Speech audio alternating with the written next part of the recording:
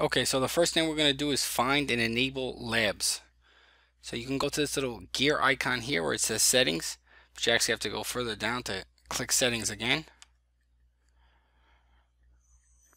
And now if you notice previously, uh, previously you would have see, seen the word labs here as a tab, but um, it's actually been replaced with advanced. So you can click on advanced, and here are some of the labs we have canned responses, custom keyboard shortcuts. Most of them are enabled. Uh, multiple inboxes, preview pane, etc. and so forth. Okay, so if you want to enable them, disable them, you can do here, or you can just tag it off. Now let's say you would like to undo an email. So let's go to compose, and we'll enter in the email. Let's say the subject is just uh, today.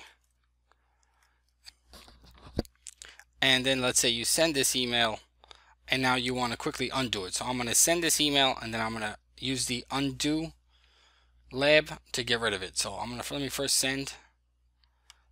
So here it's sent. Take a look down here. It says message sent.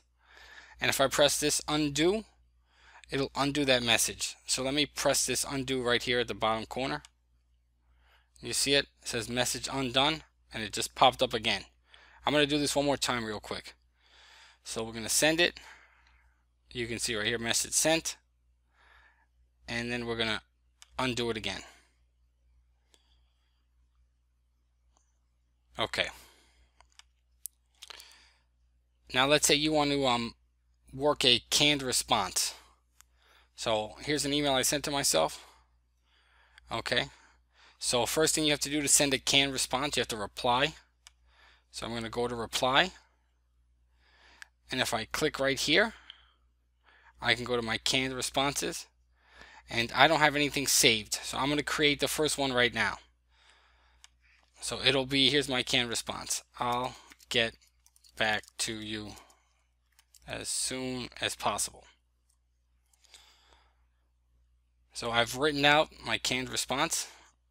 I'm going to go to more option, canned response, and I'm going to save this as a draft template, and then I'm going to go to save as new template.